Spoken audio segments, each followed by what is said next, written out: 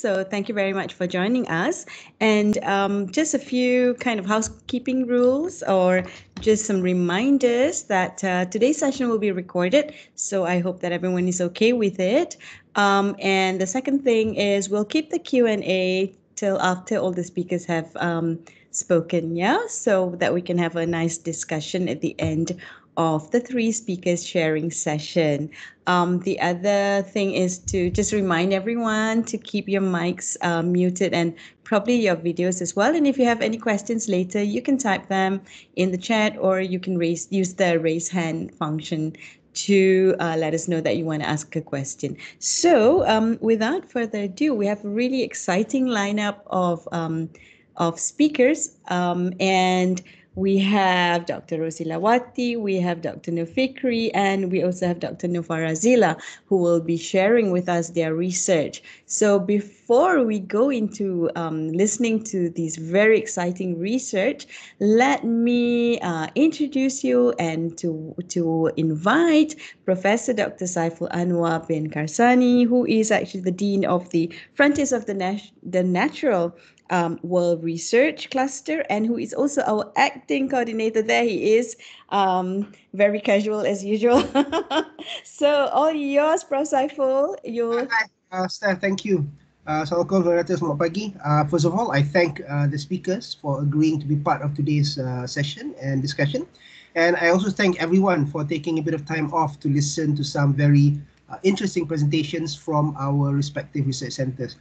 Uh, now, the idea came about when we were actually preparing for the IRG application, and we found that one of the biggest issues is um, identifying potential partners for research, especially in interdisciplinary research. Uh, and the biggest reason is that people don't know what others do.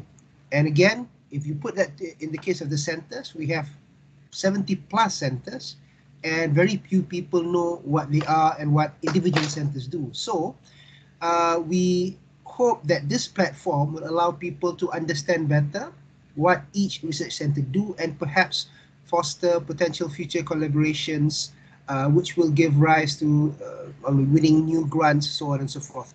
So again, thank you everyone, and I hope we get something good out of this. So have a nice one, and thank you, Steph. Bye. Right. Thank you so much. Yes. Wow. We have like 70 plus centers at UM. Can you imagine that? So definitely it's nice to hear from our different centers because um, I think most of us, you know, we only know the centers that might be related to our areas, and we really don't know that UM has so many centers doing really great work. So um, um, before I, I go further, just to welcome everyone who's just joined us, thank you for joining us once again. And of course, thank you to all the speakers um, who have agreed to share their research with us today. So the uh, first speaker that we have is, I was, I was looking at what GS means, you know, um, Prof. Rosila, I didn't even know what it was until now. So I think it's geospatialist, and I'm, sorry if I got that wrong. So there you go. And Dr. Rosilawati Zainol is an associate professor at the Center of Sustainable Urban Planning and Real Estate at the Faculty of Built Environment, University of Malaya, but she is also our very own director of the Center for Civil Civilizational uh,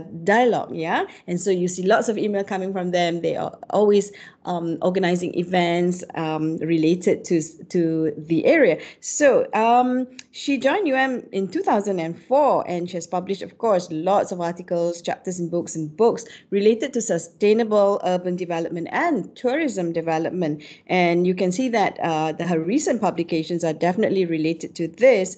Um, one of them is on healthcare facilities and population distribution in Malacca using spatial statistics, yeah, and also looking at spatial assessment of the impact of flood to Malacca's uh, economy. So I think it's best that we hear from her. So if Dr. Rosila, if you have any slides to share, you may start sharing them now.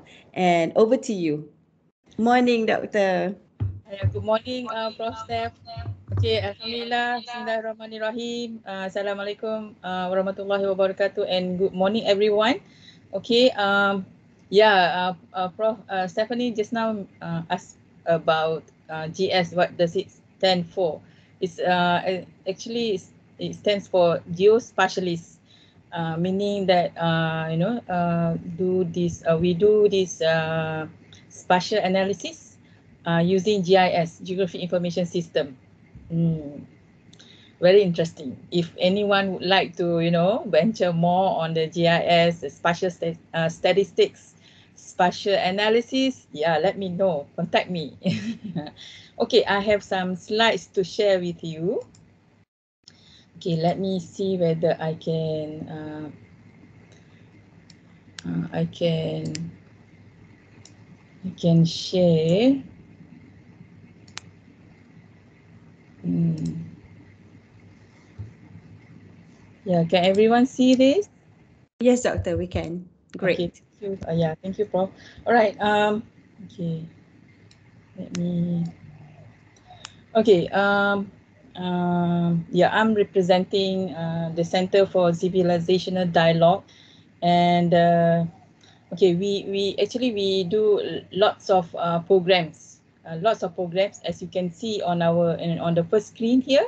Uh, we have this. Um, Naradata in uh, uh, early this year we we have Prof, how many minutes do I have? Um, about 20 minutes, if you can do that, I will kind of come in and uh, shout at you if you don't finish in 20 minutes. Uh, okay, okay, okay. all right. All right. Yeah, thanks. Okay, so we, we organize lots of uh, dialogues uh, because uh, on our name is dialogue.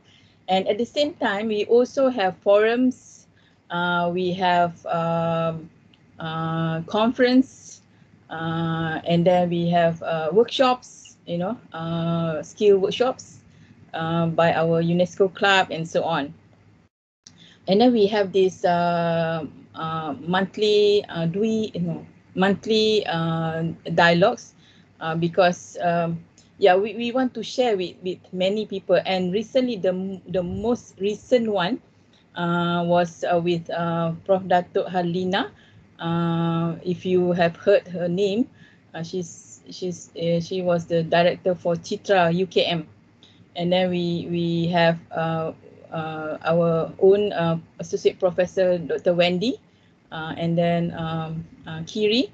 Uh, in our previous uh, dialogue session, it was very interesting. It's called Merdeka, uh, Merdeka dalam pandemic, and you know the latest, um, not the latest, uh, not the four C's uh, in uh, skills, the 21st century skills. Yeah, you should you know uh, Google it. Uh, very interesting. So anyone who have missed it, okay, let us know. Then we can sort of like uh, uh, inform you where to to get it. Actually, our website uh, have lots of information, and then we put up our lots of our previous programs uh, in in in our website uh, and also Facebook. Yeah, like our Facebook. Okay. okay. Okay. Next. Um, uh, this is the outline of uh, the presentation for today. Okay. So this is the uh, CCD team members. Okay. So we are under um, uh, Prof. Dr. Nur Saadah, okay, our DVC for Research and Innovation. Then we are also under uh, Prof. Stephanie, Cluster uh, Dean, Advancement and Happiness uh, Research uh, Cluster.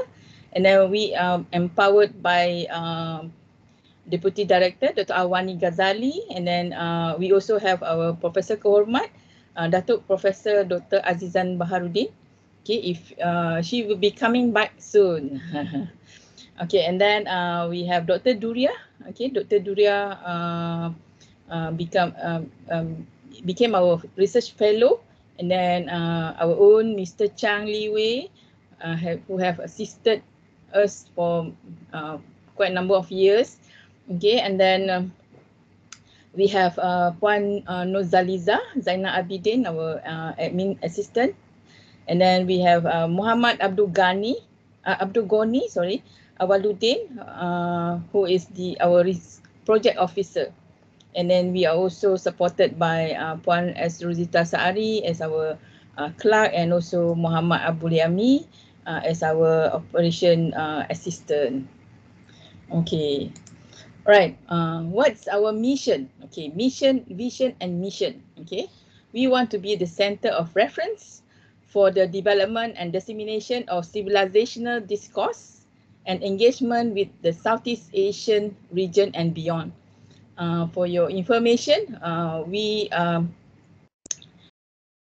just been selected to be the the center for the whole uh, the region of Southeast Asia under KAICIID. So you know um, uh, we have yet to receive uh, official letter, but we are so proud that you know we become the the center. So we are going to uplift um, our centers to make it known. Okay, but uh, you know uh, when uh, Prof. Saiful just now mentioned about uh, not knowing um, many of the centers.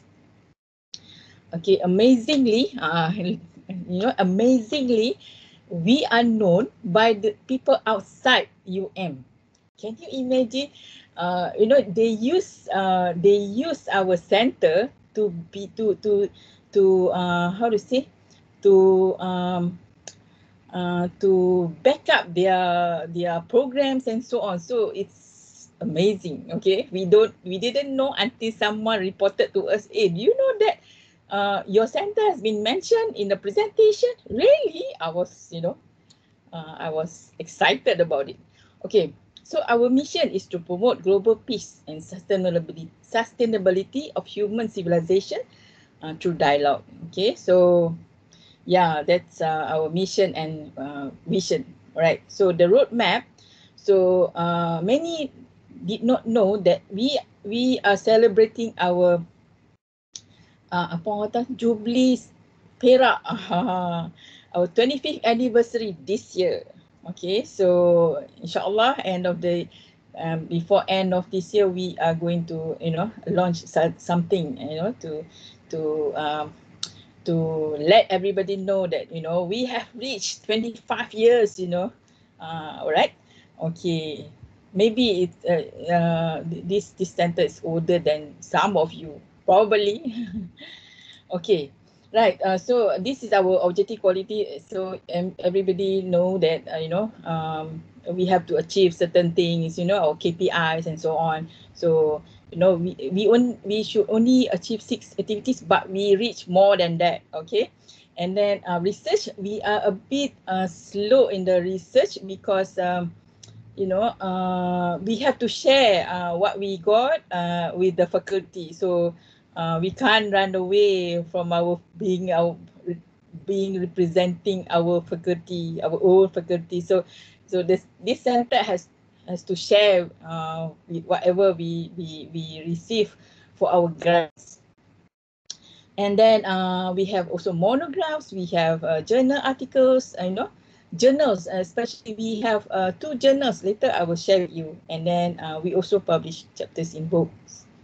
Okay, and then um, uh, this is what we have done uh, for the year uh, for this year. So we we had forums, we have a this uh, program diskusi buku dunia, you know, uh, and we, we have Prof sharir uh, last time, uh, and then uh, we also have International Day of Youth, you know, celebrate, you know, uh, organized by UNESCO Club, and then we have virtual gaps, UNESCO Club also, and then we have workshops, you know. Uh, uh, bengkel animasi pemasaran, you know, uh, it's very interesting. We learn new skills, okay? And then we have dialogue series, as I mentioned earlier. Uh, and then, um, you know, so far we have about quite a number, okay? More than more than six, okay?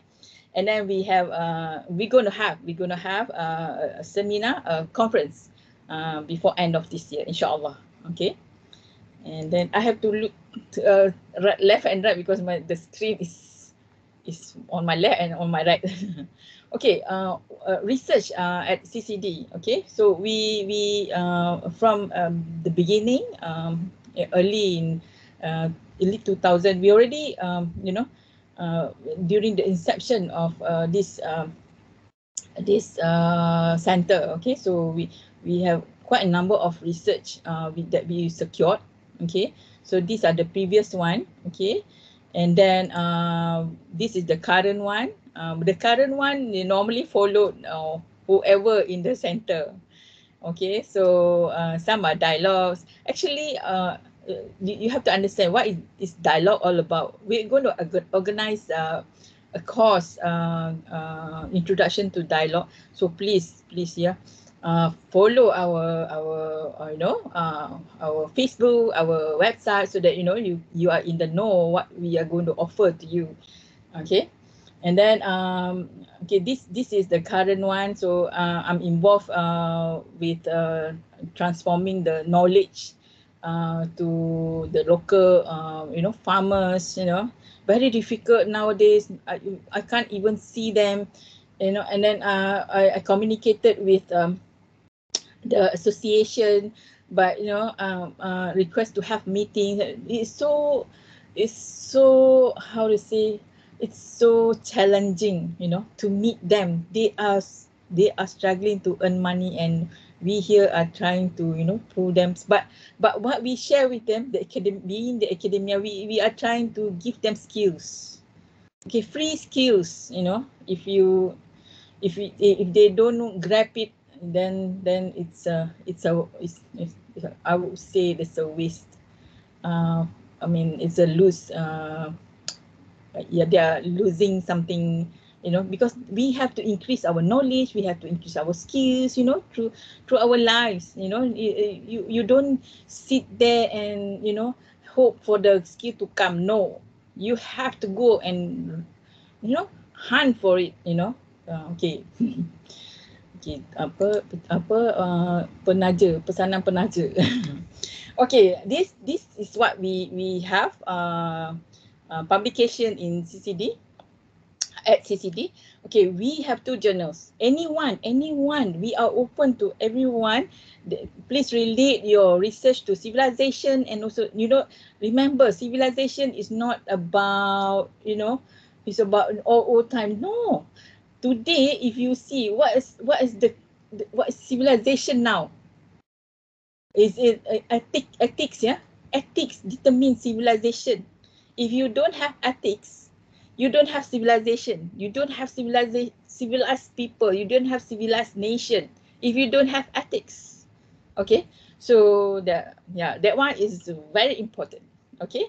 So civilization is i i think uh, because I, I come from um, urban planning and also technology uh, background. Okay, uh, there was one time when I first became uh, the director for CCD. People asked me, "How is it related to Center for Civilizational Dialogue with your field?" You know, uh, then you know what I answered? I said, uh, "A city, a city." a city uh, cannot be formed uh, without civilization. Okay, agree with me? Okay, do you agree with me? Because you know, if there's no civilization, there's no city. So that's why you have to, you, you have to have civilization, and it evolves, evolves throughout the the years. Okay, so you know, you, you need to link. So I, I um, first I had difficulties, but Alhamdulillah, Allah show me the path. Okay. So anyone, anyone who would like to publish their papers, we still accept papers now. Okay, we have one in English and one in BM, and then one is uh, peradaban is in bahasa. Anyone would like to submit papers, please do it quickly because you know uh, you have to remember if if you want to publish it this year, uh, we have to go through the cycles, you know, reviewers, and then we have to wait for the reviewer to come back to us and so on. So, uh, you know, we try to, you know, complete everything by uh, November. So, if you have a paper that you want to submit, okay, in Bahasa or also in English, please, please do so, okay? So, we welcome papers, all right? So, we have monographs. Anyone would like to, to you know, submit a monograph, yeah, we'll be happy to, to publish it for you, okay? So, this, this time is will be going to, is going to be an e uh, e-publication. But you you have the stamp or UN stamp and also CCD stamp, okay? So be proud of that. And then we have books, okay? We have books by uh, that, uh, Prof. Dato uh, Azizan Baharudin. We have books by uh, Dato Osman Bakar and so on, but famous people, okay? And then we have bulletin. Now, uh, last time we used to print bulletins, but now uh, it's on uh, e. So please find our bulletin in our website, okay? And then, okay, we have uh, the calendar. Uh, this is the calendar uh, from this month towards the end of the year. So we are going to have, so please, please, please, please follow our Facebook and also our website. We're going to have a webinar with Kaisit. Kaisit is King Abdul Aziz uh, Center for Inter Interfaith Dialogue. Uh, it's an international organization. So yeah, please, you know, uh, uh, it's free. We welcome you, okay? And then we're gonna have uh, a, a workshop on uh, increase your citation index, okay? So yeah, anyone, anyone would like your your your you yourself, your paper, your publication to be highly cited, okay? Please attend this workshop. It's, uh, it's going to be a paid workshop, so you need to pay some money, okay, to join the workshop. And then uh, another thing is that we're going to have, uh, that one is in September. Uh, I forgot to tell you about the August part. Okay, August, uh, the coming one, we're going to have a writing workshop. Okay, it's going to be this, I think this, uh, that's going to be tomorrow. Okay, if you have time to register, it's a paid uh, workshop, please, please, if you want to learn about virtual and uh, academic writing, yeah, please join okay for those who who uh, would like to join. Okay and then uh, in october we're going to have uh, a joint webinar with uh, university of Tsukuba, okay? So it's a very good it's going to be a, a very interesting discussion dialogue between uh, professor um, takeshi kimura and also dato uh, our our beloved dato azizan uh, baharudin Okay, so it's going to be a future of civilization, okay, with the current situation. So please don't miss it. It's going to be a free one, okay? All right, and then um, mm, then then November we we have another program, but we have to decide it first. Uh, uh, but we're going to have our bengkel uh, pemantapan, you know, for writing and so on. And then December we're going to have our international conference in, on interfaith dialogue. So uh, that will be our, you know, uh, uh, what do we call that? The, the climax of the year. okay, so right. Um, okay, then uh, our source of funding. Okay, we are sustaining ourselves with belanja mengurus. Uh, I don't know OKA, I think that, that, that they call it. Okay, and then we have research grants so that you know we have uh, research assistants that can help us uh, organize programs and also in research. And then we also uh, receive contribution uh, uh, in kind and also in monetary. Like for example, Institute Kajian Dasar who who be who sponsor our speakers and so on. And then sometimes we receive uh, money from um, SKUM, Suruhanjaya Kebangsaan UNESCO Malaysia for our organized programs and so on. And then uh, we're going to have virtual run. Okay, so I'm not so sure when it's going to be. So please, please, please, you know, uh, you know, look up for the news, okay? And then we also uh, receive from uh, fees from programs, okay? So the one that you paid is for us to pay our speakers and so on, right? Okay, it's not for us, okay? It's not for us. Okay, and then uh, these are our major challenges. Okay, we we have difficulties uh, securing money, you know, because people see uh, our center uh, uh, in, you know, give free dialogues, uh, forums, uh, give free uh, workshops. No, uh, we, we can't be, you know, if you see that we charge certain money is is because we need to to you know to get some money to pay. Sometimes uh the, you know the speakers are willing to you know give just like that you know. Uh we pay them in kind we give them books journals and so on. So uh that's why we, we, we can have paid uh programs and so unpaid programs. Okay, right. Um, okay, so this is our commitments. Okay, so if you uh, wish to collaborate with us, okay, I think uh, in November we're going to collaborate with uh, ISTAC. Okay, uh, Dato uh, uh, Professor Osman Bakar already contacted me. You know, we're going to have a collaboration. So no financial implications. All that's great. Okay, so you will see, you, you will be able to see our names uh, been, uh, you know, uh, everywhere. okay, I think uh, that's all. Thank you. Thank you for listening. Thank you so Thank much, you. Doctor. And we will, I'm sure there are questions for you later. Uh, firstly, congratulations yeah, on your 25 years. Um, Yes, and I think you all have done some amazing work, and we'd probably like to know more later when we uh, when we have uh, the Q and A session. Yeah, Doctor, thank you so much for joining us, and please don't go away.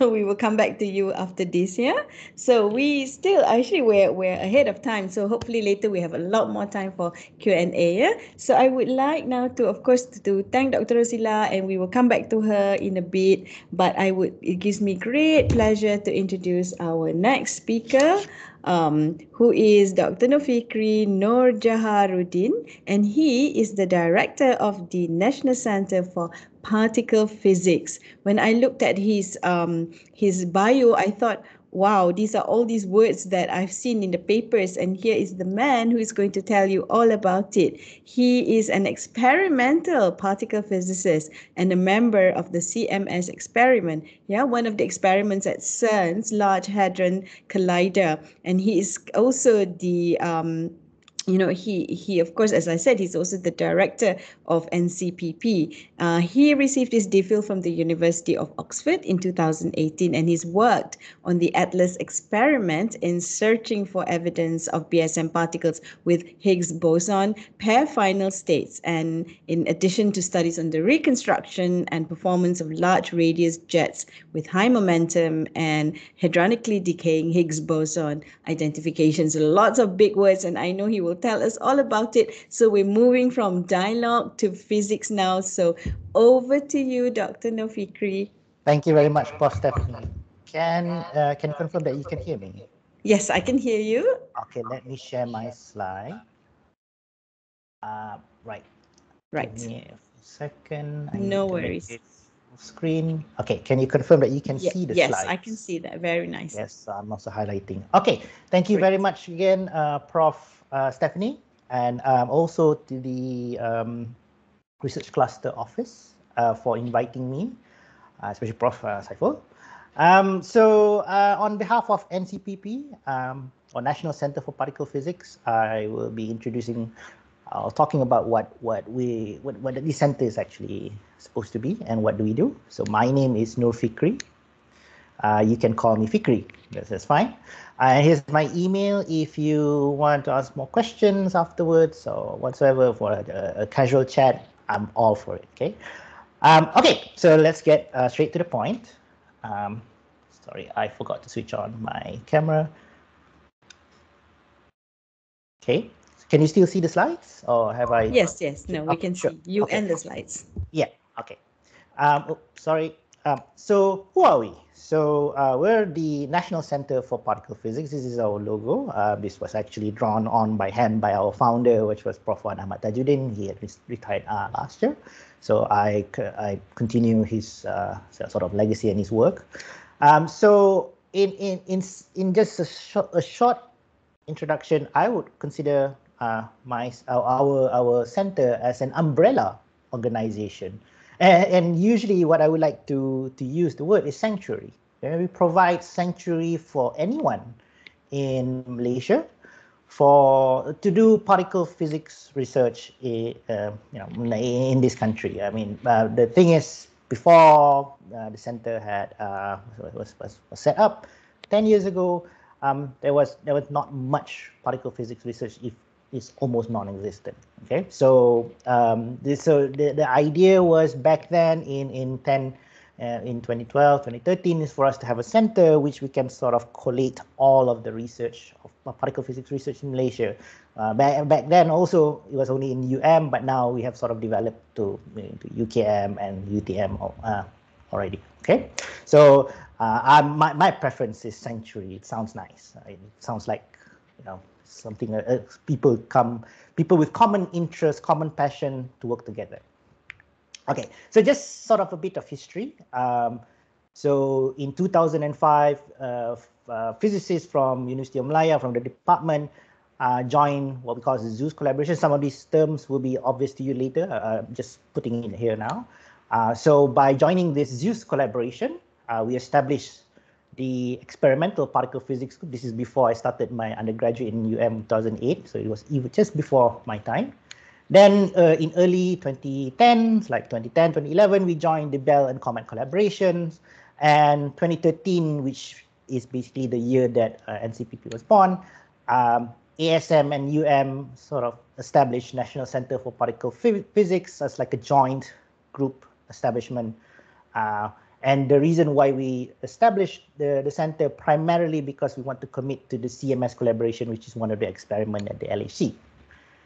Um, so this is just to show you sort of, you know, when we were rummaging through, when I was, you know, when I started being a director, I said, oh, let's look at all the documentations that we have. And I sort of want to see basically um, our um, um, Brana, right? So this is the closest I could find. Essentially, uh, ASM uh, sent a letter saying that, you know, that they are pleased with the positive outcome of the discussion following the presentation of the proposed National Center of Particle Physics by the then ASM President, uh, Tan Sri uh, Mat Tajuddin to Tan Sri Ghauth, and also by the um, higher management, 22nd of 22nd of March 2013. So this is where we uh, established ourselves, uh, no, uh, seven and eight years ago. Okay. So um, who do we consist of? Um, we we call ourselves as fellows um, in in NCPP. So there's not much um, strict. This is we want to be as as as you know as relaxed as possible. So we we currently right now we can consist of five academics. Academics here being from universities or research institutes. You know, scientists, senior scientists from let's say from Nuclear Malaysia. Uh, we have uh, overall postgraduate students, about three master students and three PhD students, and one uh, research officer. We used to have two or three, but you know contract ran out, so we're left with one permanent research uh, officer. So it's a small group um, compared to you know the center before, which was like 25 years. We're still like eight years since uh, since since our inception and you know we have a quite a good following. We used to have a lot more students, of course, um, due to funding uh, opportunities lacking out there. Um, you know, three MSCs and three PhDs not quite too bad. Okay. Um, so right now, members of our center comes from primary uh, come from uh, UM, UTM, UKM, and Nuclear Malaysia. Um, so the funny thing is the academics are you know equally from each of these uh, university. We used to be predominantly from University Malaya, but right now uh, in UM, I'm sort of the only um, quote unquote senior academic uh, from uh, from University Malaya. So we have all of the all of the academics from UM, UKM, and sorry UTM and UKM are you know quite young uh, academics, while from the Nuclear Malaysia is sort of you know from pretty from, from the older generation who's pretty much going to um, retire soon. Okay, so um, we we we, we we do want people to join in uh, as many as possible. Okay, um, so what do we do? So what I want to say, uh, sort of the the the the the scope of research that uh, people in NCPP do in one slide is we want to probe the standard model of particle physics and then break it. So what do we mean by the standard model? Now, if you if you were to sit down with me and chat, I will convince you that um, these particles here, so on the left here are a list of particles, and these are the fundamental particles that we know of until today.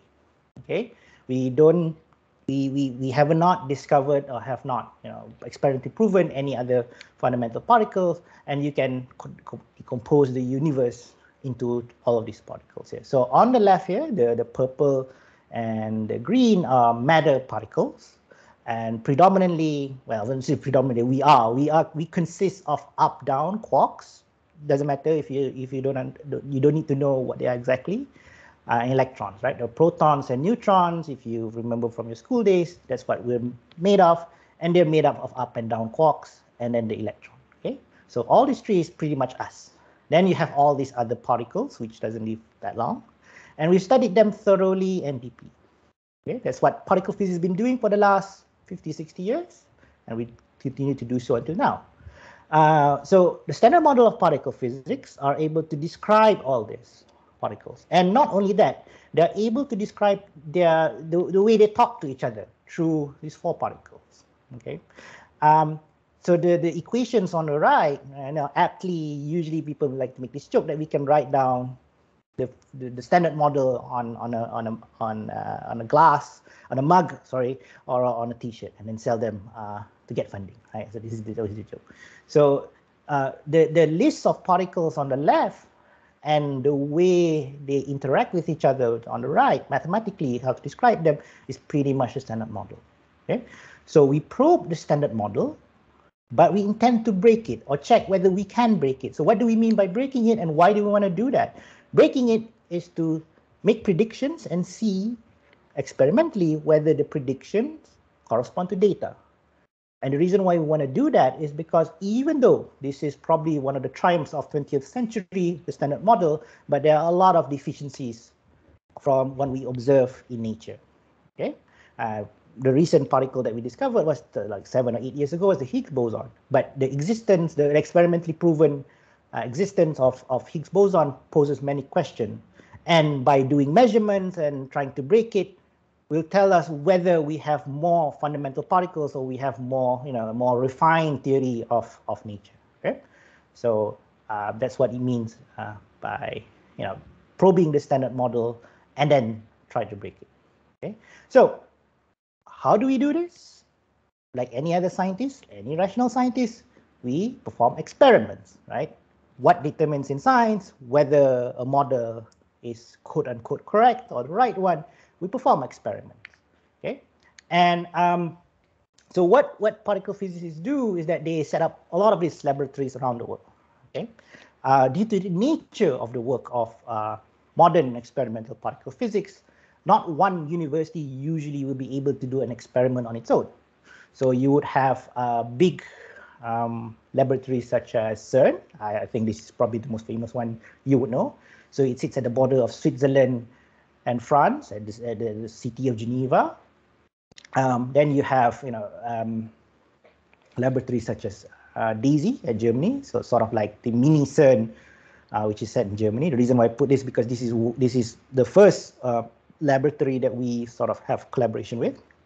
Then we have uh, collaborations with, uh, with laboratories from uh, from Japan, which is KEK and its you know sister with sub organization JPARC. Okay, so all of our experiments right now are based in CERN, DESY, KEK, and JPARC. Right, so we quite have an international collaboration here. So, so we we don't uh, collaborate with the laboratory per se.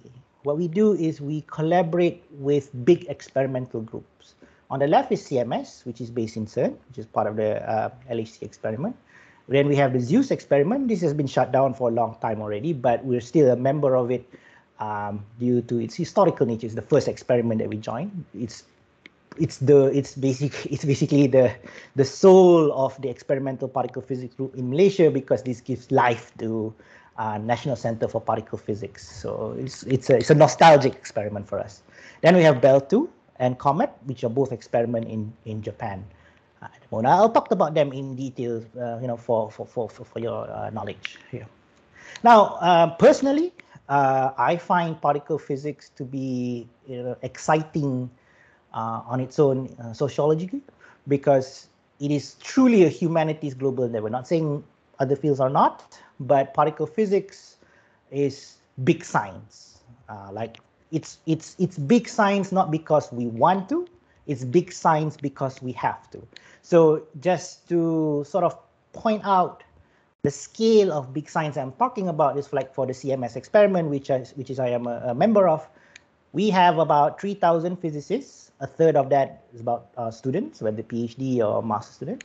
Then you have 1,000 uh, quote unquote engineers, 281 technicians, and these uh, these people come from 229 institutes from 51 countries and regions, right? So I work with people all the way from um, the west coast of the US and also people from all the way to New Zealand and also from from Japan, uh, sorry, from from uh, Korea and then from Europe, right? So differing time zones.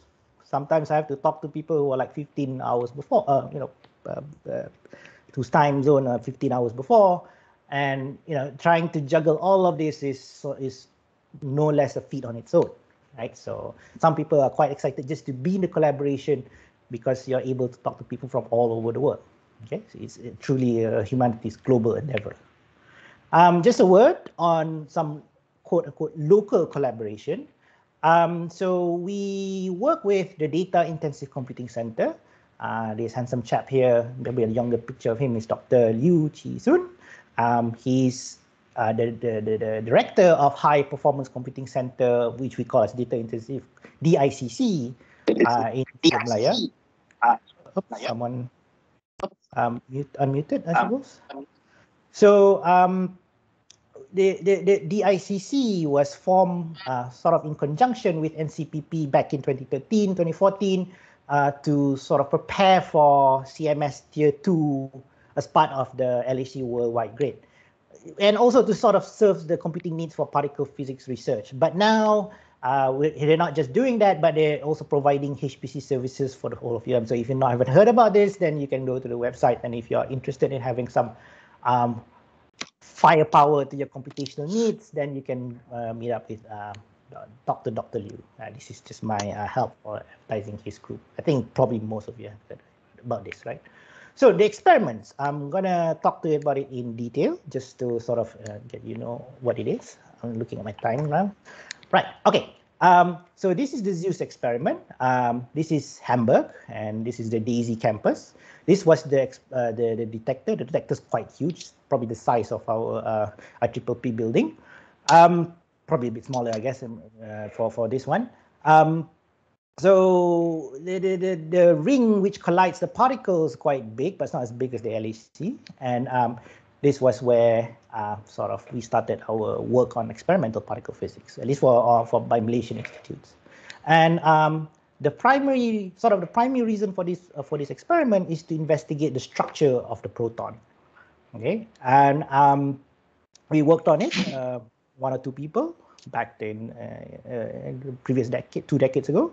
Um, it stopped data taking 2007, but still the results, the data sets from, from this experiment is still being analyzed uh, from you know, what we call as legacy data sets and still keep producing valuable physics input to the particle physics community.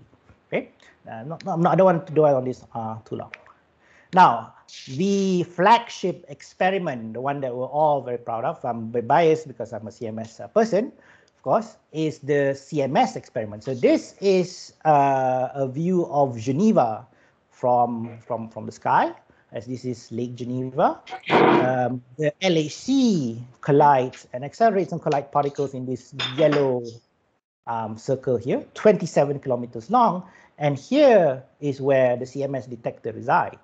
This is where we take pictures of the collision and perform uh, analysis to extract physics or find new physics, whatever you want to call it. Okay. So examples of the physics that we've done in our center and keep and continue doing is that we were involved in uh, studying the top quark, which is the heaviest particle, fundamental particle so far. Um, this is a flagship uh, analysis that was done uh, like in 2014. And we also worked on measuring the newly discovered Higgs boson from its decays and production processes. So uh, these are these are groundbreaking uh, measurements we were, I'm not saying that we were the ones who did it alone, but we were part of the group that uh, analysis group within CMS collaboration. Okay. And um, so those were measurements, I would call as measurements. We measure the standard model and trying to understand it. We also try to look for new physics um, in our data sets, right? So our, one of our students uh, worked on trying to find micro black holes you know, uh, funnily enough, people feared uh, that you know we would create black holes at the LHC, and what one of the students discovered was we could not find any um, you know signs of, of black holes like in this plot here. So if you if you expect to see uh, new particles, then the black dots, black dot markers, which are data, should follow, let's say, the cyan uh, uh, curve here, right? So you don't see that, therefore, no black no black holes. We have a student trying to find if there are heavier Higgs boson out there, uh, decaying into two muon particles. Uh, no evidence so far, and um, and we still keep on searching. There's still more data to to to to collect and also to analyze. And um, you know, for, uh, and the CMS collaboration will keep on get uh, collecting data for the next um, 15 years, right? Um, so so that's that's CMS. So still 15 years to go. Then uh, just a quick word on SuperKEKB and Belle 2. So this is an experiment in Japan. So this is Mount Tsukuba. So it's in Tsukuba. And this is a relatively a smaller experiment, but still quite big. And this is the Belle 2 experiment. So this is sort of uh, the, the, the sequel to KEKB, which is, well, you don't have to understand what it means by luminous luminosity, but you can say this is, uh, uh, it's, it's like going from Proton Saga to uh, a Ferrari, right? So 40 times more luminosity than the previous experiment. And the reason why we want in, uh, to do this in this experiment, why we like to be in this experiment is because there are indications from what we call as B physics, uh, um, hints of new physics, but they're not conclusive yet because the data set is quite small. So having 40 times more data set can elucidate this uh, hints, and we would like to be one of those people to, to, participate in this experiment to see whether new physics exists or not. So Belle 2, with its huge data set, will be able to confirm this in about five or eight years' time. Yes, it takes a long time for us to do groundbreaking physics. Um, so just quick involvement, which I think I want to highlight here and I would like to be proud of is that uh, one of our PhD students were involved directly in assembly of the CDC and commissioning, which is the heart of the detector here. Um, so he was, you know, spent a year or two in, in Tsukuba, uh, and, uh, commissioning, pulling the strings on the detector and also performing the tests, uh -huh, whether, you know, testing that it works or not, okay? Uh, so just a quick look, he should be proud if he's here. That first collisions from Belle experiment started last year, and you could say this uh, this this Malaysian hands resulted in um, in this in this results, right? So the Belle 2 will record collision data up until 2028, 2029. And along the way, we can start analyzing the data with the full data set. We can extract more physics. Okay, I'll, I'll rush a little bit now. Now, uh, another experiment that I worked in, uh, yes, again, some bias here, is charge lepton flavor violation experiment called COMET. So in essence, you don't expect to see a particle like muon, just take my word for it, to decay into an electron. It transforms into another particle. Okay. Up until some observation 20 years ago, this process is possible, but very rare, 10 to the power of negative 50. So it's like you know 0, 0.0, then you put 0 50 times, that's the probability it's happening. It can happen. It's predicted to happen. It's just very rare. But if you have if you have new physics, if you have physics that we have not discovered, like uh, if some of you are familiar, supersymmetry, then this probability increases like orders of magnitude, right? 10 to the power negative 15, 10 to the power negative 11. Still very rare in, you know, in our, in, in, uh, according to our intuition, but this is experimentally possible to check. And the reason why we are we like this uh, this experiment is because such processes and such experiment uh, gives competitive complementary um, um, physics probe um, to the LHC. Okay. So um, this experiment um, is is a simple one where we try to capture a particle with uh, with the material and see whether this process is happening. It's clean. If it, if it if if it does happen, we can see it very clearly, just like this plot. And uh, what we aim to do, this experiment hasn't started yet. It's still being on. It's still being constructed. Uh, is to uh, beat the previous uh, sensitivity uh, from the previous experiment, which is SINDRUM 2, 10 to the power negative 13, Comet's goal or wants to go down four orders of magnitude, four or five orders of magnitude. Okay, it's a big stage. Two stages. Uh, right now we're in phase one, hoping to take data in 2020 with um, phase two um, going to happen in 2027. Now, this is still quite ideal. This could go up until 2029 or 2030, depends on the timeline. Okay, so plenty of opportunities for you to join throughout your whole career if you're interested. So NCPP's involvement in COMET is we are involved in commissioning of the detector and a bit of software, tracking methods and software. That's what I do. And we have uh, people who wants to apply FPGA to the experiment, if not now, then later. And we, we were sort of um, um, inspired to do this based on the Newton Ungku Omar Fund that was awarded a few years ago with Imperial College. Now they have the expertise, so we are changing, you know, transferring skills between them. Okay. Uh, I'll be very quick now. Sorry. Um, so um, just to highlight some of the research that we do, even though we're mainly an experimental group, but we have people who are working on theoretical high energy physical cosmology, uh, studied string theory and black hole phenomenology. We have also collider phenomenology, which, is, which are people trying to um, understand uh, dark matter and how future collider can uh, reach um, the, the, the the, the, the, discovery scale. We also have students who have worked on detector hardware and uh, instrumentation uh, and, and electronics R&D. Uh, we have one PhD student who works on radiation hardness. You know, she, her expertise is in materials, but uh, she's looking into whether graphene is a possible uh, material for um, you know, our detectors. Then computation, uh, which is a, an important, which is a key aspect of, of particle physics, is because we have this huge data set, and to analyze them, we require high performance uh, computing. At the same time, in order for us to extract as many physics possible, we looked into machine learning because the, the, the data sets is uh, multidimensional. When I say multidimensional, it can be like 10, 20 dimensions and you know using simple techniques doesn't work so machine learning might might might sort of might help okay um, so um, I don't know why my thing's not working. So I just want to get a quick glance through our alumni. I want to honor them here, right? So these are these are actually my friends. Uh, so they, they did their masters here in UM. Now they've just finished their PhD or finished like Xiu Yan here has finished their PhD uh, in Padova. He was headhunted by Padova because of his good work in NCPP. Now he might be joining UKM, another you know another another another another person coming back to NCPP. And we have Afik, who's now a postdoc in DESY, did his PhD in DESY, uh, masters in UM. Again, both of them headhunted to do their PhD there because of their good work in NCPP. We have Atika, who used uh, uh, did his, her masters on using Zeus datasets, and also uh, Nuha, Nuzulaiha Jomari. Uh, she did her uh, analysis on Zeus also, masters. She's now doing PhD on CMS at DESY, um, you know, just like Afik. Um, we had Fami Maulida and uh, Javad, uh, who are international students. Um, Fahmi from Indonesia, Javad from, from Iran.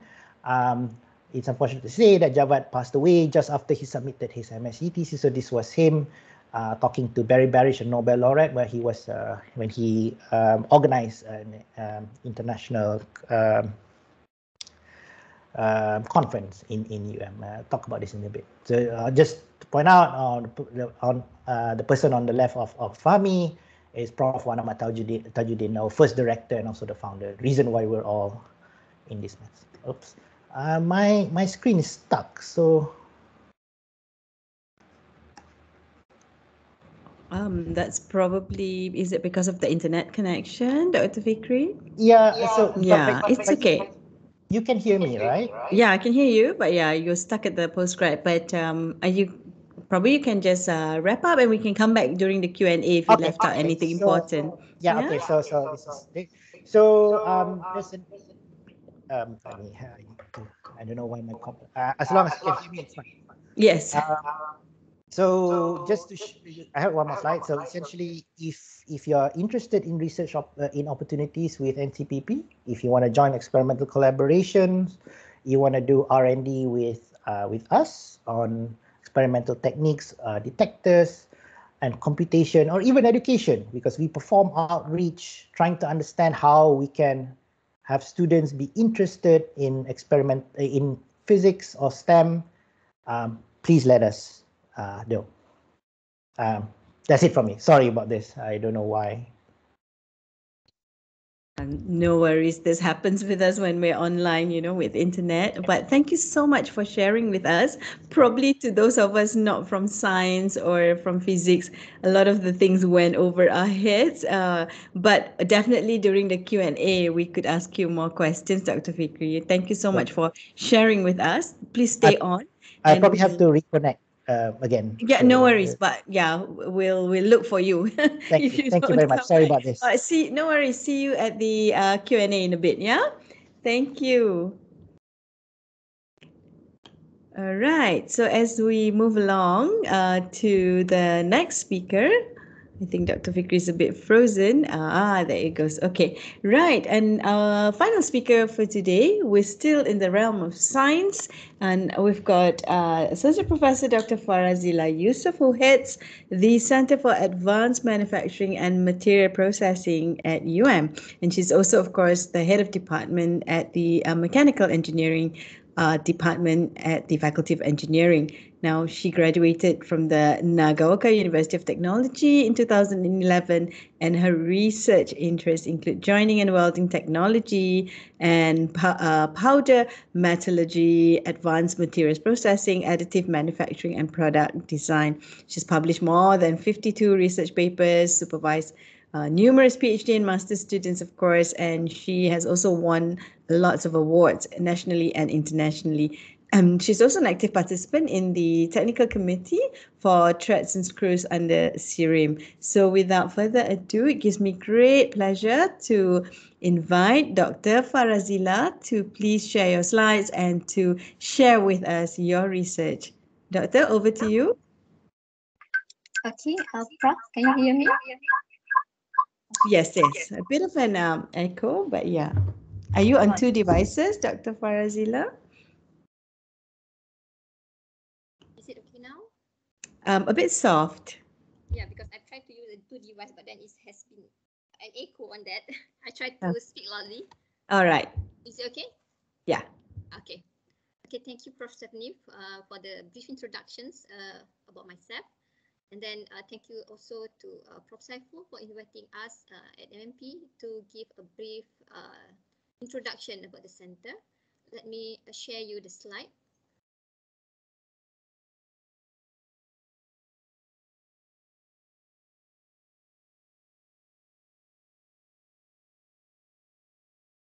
Um, are the slide visible? Yes, doctor.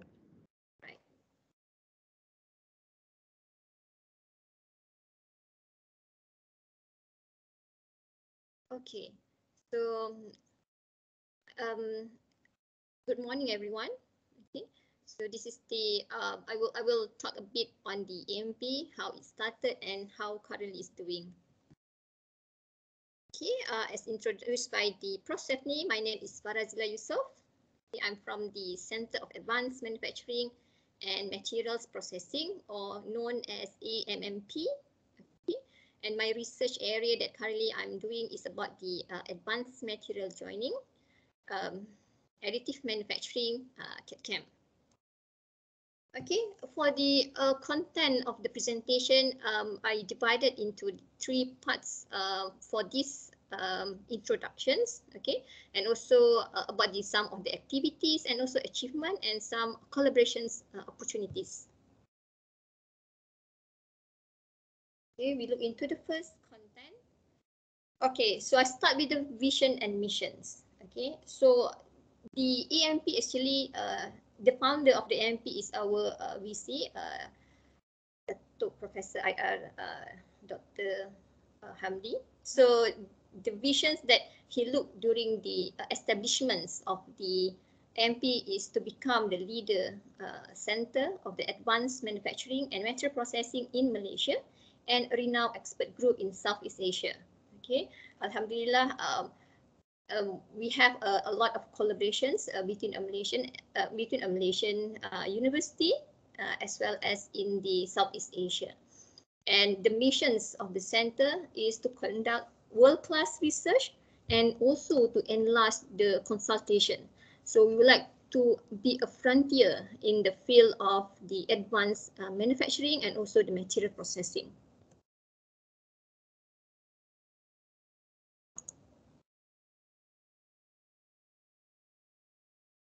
The objective of the uh, establishment of the center, well, we can see um, usually uh, it will relate into the uh, area that we venture in. So one of the uh, objective is to extend the expertise of the member in various areas of discipline. Okay, not only uh, but in particular a conventional manufacturing, but then it may evolve later uh, to the advanced manufacturing and now currently we are going towards for the IR 4.0 and we are also uh, look into uh, securing funds by obtaining grants and providing consultation services. Okay, not only a local grant, but we are aiming also for the international grant and also we would like to serve um, the uh, country, the society with the knowledge that we have.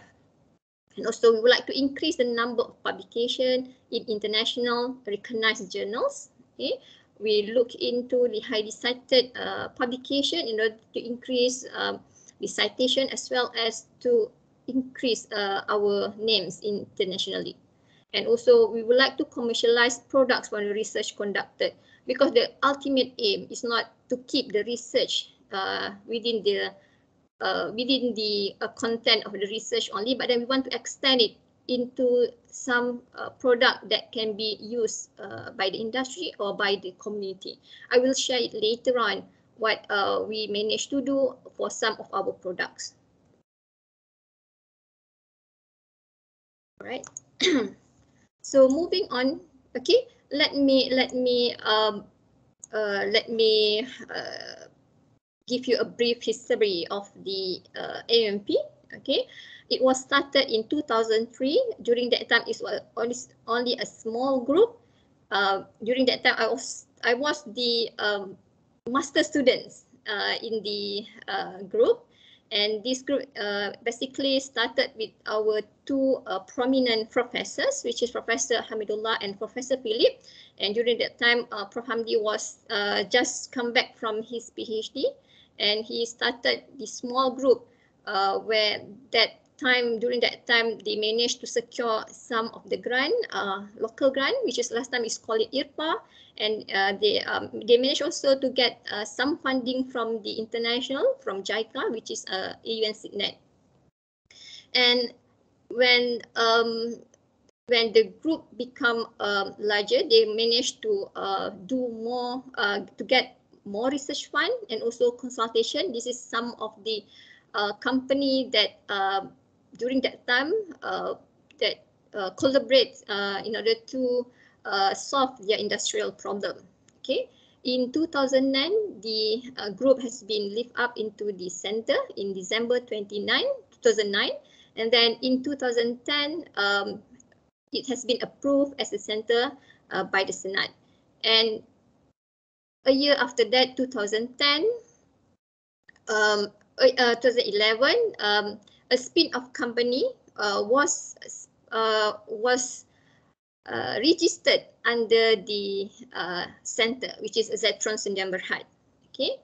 Um, we have a luxurious time. I think most of the lecturer, most of the staff in UM uh, still remember we got um, uh, HIR, the special uh, high impact uh, research grant in uh, 2011. During that time, the center managed to secure two projects, which is amount uh, 7 million. And during this time, uh, we managed to secure um, other grant as well.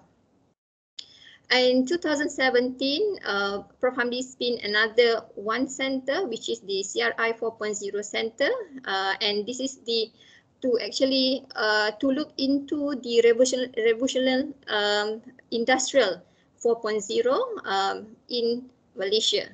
Okay, and currently 2020, uh, we have uh, secure some amount of grant as well in order to move further uh, to achieve our uh, uh, our missions for the AMMP.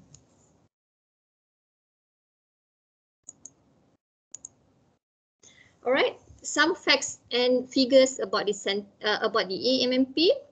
So uh, currently, uh, start from the, uh, the, the, the introductions of the group in 2003 until now, we have managed to publish more than 670 publication, varies from the uh, ISI journal, Scopus, and also conference proceeding.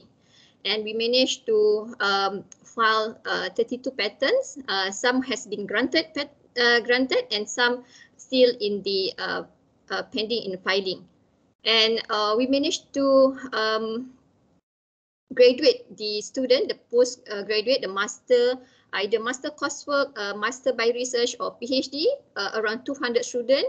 And as, as I mentioned earlier, uh, we managed to have uh, one spin-off company, which is Zetron Sdn Bhd. Okay, looking back into the name of the AMMP, okay, it stated like uh, advanced manufacturing and material processing. However, uh, when we look deeper, there are a lot of area that can be explored. Okay, this is some of the area that uh, perhaps could um, give some alignment uh, what is the actually what we are doing. Okay, so um, about the uh, research interest, so we have divided the cluster uh, into five cluster in the center. The first one is about the smart manufacturing and big data analytics because we know that uh, we are we cannot stay in one place. So uh, because of currently uh, the country and also uh, globally, we are moving from the um, uh, from the um, normal or conventional manufacturing into industrial into a more digital world. So uh, we put it uh, as part of our uh, subsections in the group to look into that to achieve to be par with the uh, outside player. So this will cover in terms of the uh, industrial 4.0 area, um, IoT, and also uh, looking into the uh, what is the future manufacturing uh, in, the in Malaysia. Secondly, is about the advanced manufacturing and precision joining. It's more related to myself. I could be biased here. So this advanced manufacturing can be varied from the uh, from the um, uh, normal machining into the currently when we have uh, 4.0, we have additive manufacturing um, as well as the um, uh, precision uh, in terms of the uh, welding and joining. And we have uh, another subsection, which is the functional coating technology, where in the functional coating technology, we look into more precise um, applications. Okay? So because of we have an expertise in this uh, area, we have the equipment that we can look for, for further. So it can be useful in the future. And now currently there are a lot of the um, inventions uh, for the uh, antiviral um, anti um, anti uh, uh, virus coating that can be provided uh, to uh, to help into uh, secure the, the part from the uh, infections. And uh, we also have the energy and control processes. Okay, so this is more looking into the um, uh, heat transfer analysis, uh, more on control engineering and etc. And finally, we have advanced uh, materials processing. So uh, this uh, look into the more details on uh, materials that related to the processes for the manufacturing.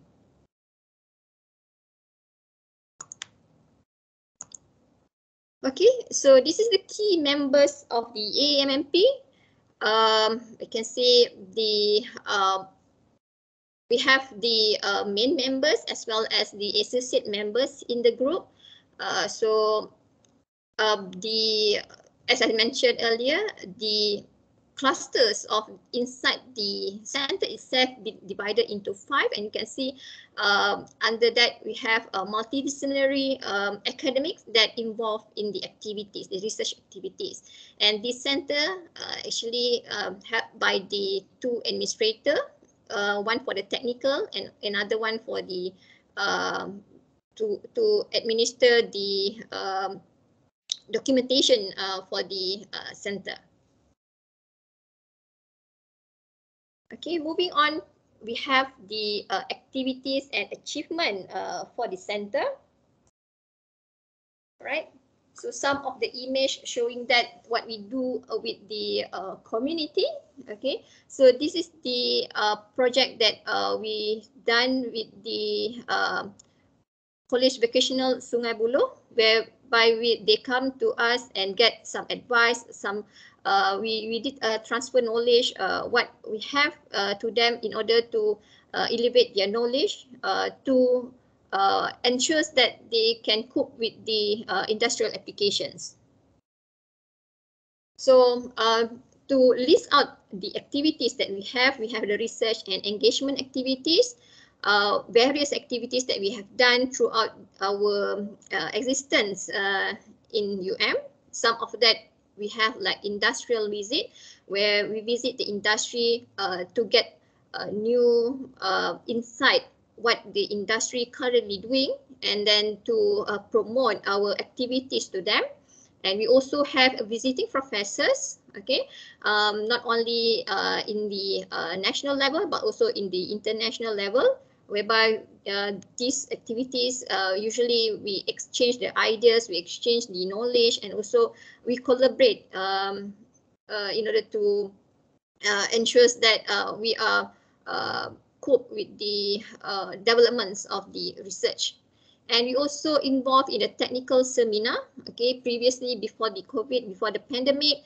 Uh, what we did is we do the um, uh, the conferences okay. Uh, we managed to um, uh, we managed to have uh, several conferences uh, during that time.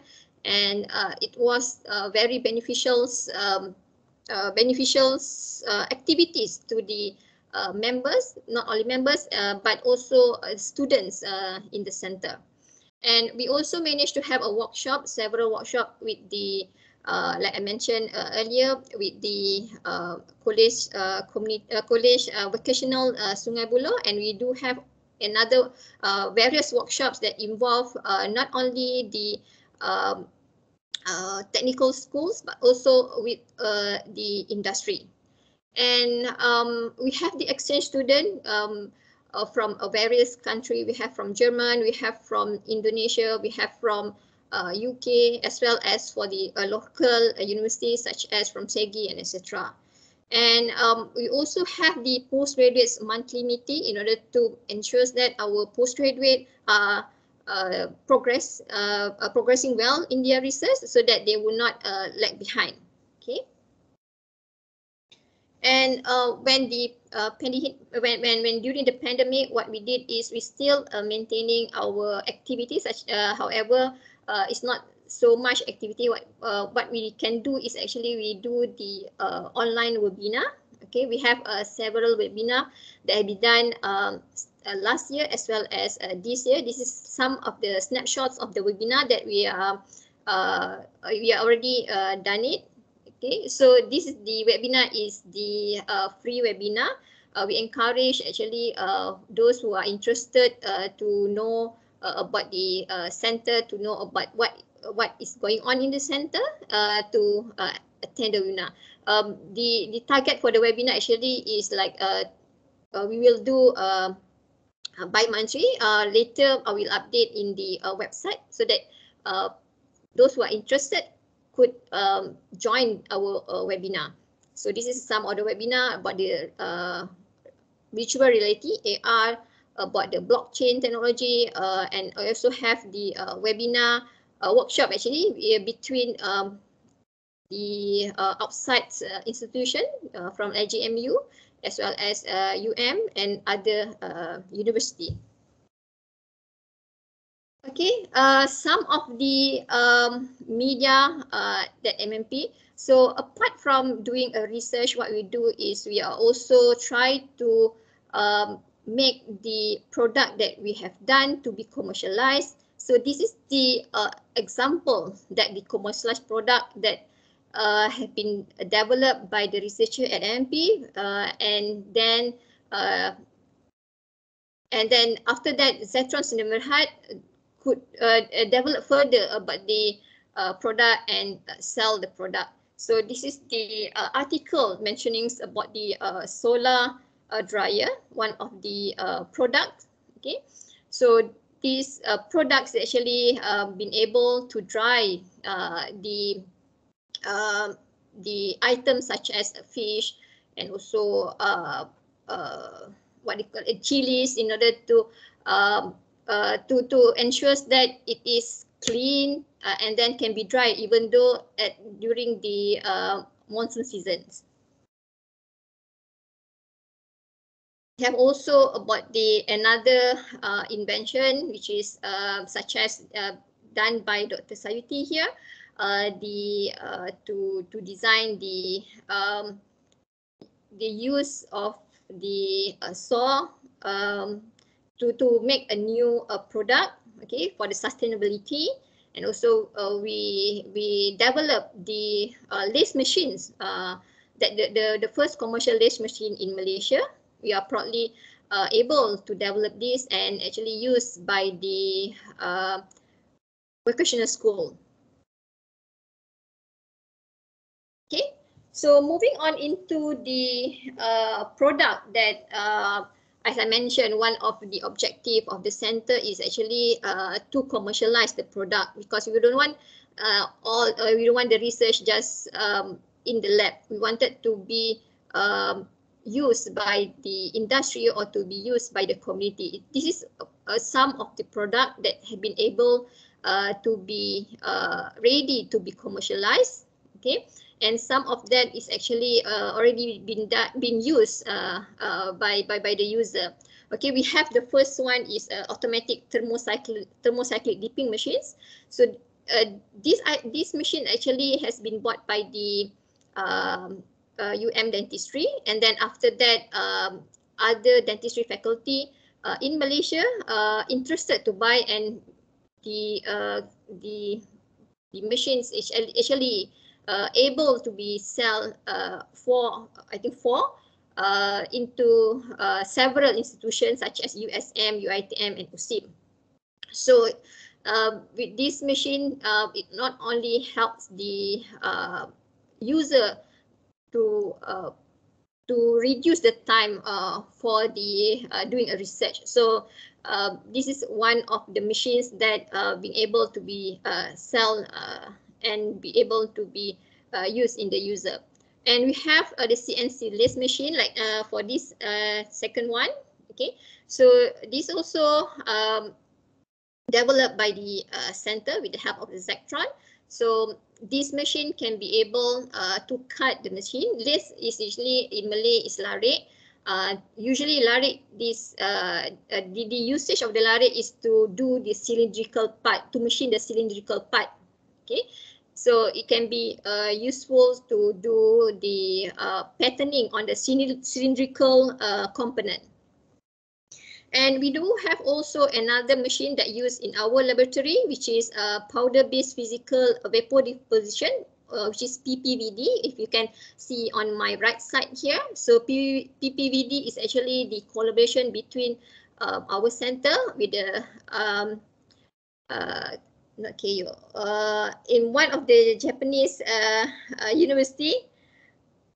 I don't remember the name. Um, okay, sorry. Uh, I will come back later if I remember the name. And also one of the Japanese company is ULVAC in order to actually uh, develop the scientific uh, instrument.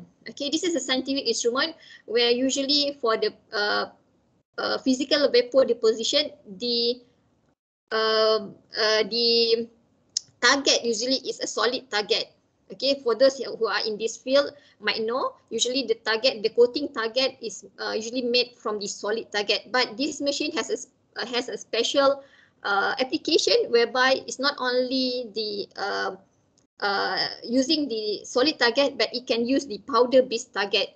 The advantage of powder-based targets actually we can mix the type of materials in order to coat the materials. Because if we wanted to have like a solid target is a bit uh, difficult to produce in solid target for certain material. So the uh, usage is more versatile compared to the uh, conventional, uh, not conventional, to, to, to compare with, with the uh, machine in the market, which is the physical vapor deposition. We do have the uh, machine, the, the conventional vapor deposition. Later I will show you in the laboratory, but this one is um, versatile machines that can be used to coat uh, various materials. And uh, next is about the solar dryer. Okay, solar dryer is actually uh, the one that I showed you previously uh, that can be used to dry the uh, items such as uh, fish, etc. to help the to help the fishermen or to help the villagers to dry their product. Okay, usually during the monsoon season, they are not able to uh, dry uh, efficiently, and then uh, it may uh, produce the um, uh, fungus in the uh, in the product. So with the solar dryer, because we have we can control the humidity. We can we put we, we, we actually enclose it this this dryer so that there is no uh, flies can uh, go inside. Okay, and finally is the uh, laser soldering machines. Okay, so this is uh, usually for the uh, joining of the um, electrical uh, component. They use the uh, either the uh, manual soldering or the, you can use the other processes, but then um, using the um, like a furnace processing. But then what we can what we invent here is actually we use the high technology using a laser in order to uh, improve the process as well as to uh, ensure that uh, it can be precisely controlled. All right, finally, uh, the, the last one is about the uh, project that uh, ongoing in the uh, center. We have uh, several projects that are ongoing. Uh, I pick up uh, most of the uh, big projects that are ongoing um, in the center. So we have, um, because of um, uh, now not only a conventional machinings or conventional uh, manufacturing can um, uh, is, is important, but then we need to look into the future. What we uh, usually discuss in the center is to know what is the um, what is the frontier uh, research, what is the what is the advanced method that be used in the um, other places. So we come up with the uh, several ideas and we come up also with the um, uh, proposal in order to ensure that the uh, research that we have we done is actually uh, is in in in uh, par with the uh, other institutions and or other uh, country and also with the industry. Okay, so this is uh, some of the latest project. If I can uh, go through one by one, the first one is about the um, additive manufacturing, which is we call it the uh, hybrid, uh, not only additive, but then uh, combining two processes. That's why we call it the hybrid manufacturing, uh, which is using the um, direct depositions of the materials with the forming processes. That's why they call it the hybrid for the uh, productions of the lightweight uh, metal alloys. So this is more on the uh, uh, process uh, of the productions, whereby we want to see where the possibility to use two processes in order to make sure that the product that we produce um, have the high quality. And we also have the second uh, project, which is the digitalizations uh, and also the characterization of the material uh, for the uh, Kendi as the cultural heritage of the Southeast Asia. Okay, so we can see that here in this project is actually uh, looking more on the digitalized uh, uh, heritage uh, product. We have a special um, scanner you know, uh, that can be uh, analyze the uh, materials as well as the uh, the material compositions um, of the uh, product. So uh, when we know the material composition, we can actually replicate or reverse it and uh, and produce this uh, and to preserve the heritage culture. And uh, we also have the project uh, on the coating technology. Uh, this uh, related to the bovine bone. Okay, um, this usually the the application is suitable for the implant, uh, which is the titanium alloy uh, coated with the um, uh, bovine bone as the uh, raw materials. And we do have also uh, a project with other faculty, uh, such as the automated methadone machine dispenser for the methadone maintenance treatment program. So this is uh, the development of the machine uh, in order to help the um, uh, the uh, pharmacy to dispense the um, methadone uh, solutions. Okay, so this is the collaborations between the uh, the AMMP with the Faculty of Medicines. And um, apart from that, we have um, other project, which is the aerospace process capability enhancements towards towards uh, I, I 4.0 adoption.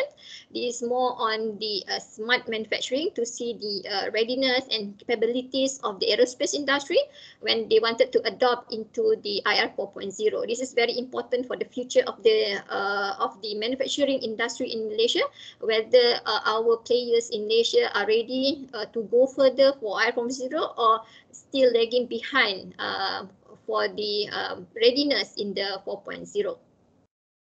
Uh, next, in my uh, right side, we have the uh, RISE project, IWEL. So this project is actually uh, awarded um, uh, for uh, is awarded from Horizon 2020 grant to investigate the um, the precision joining for the welding. It's not only on welding process, but also into the whole ecosystem from the materials database and also what is the uh, future uh, directions.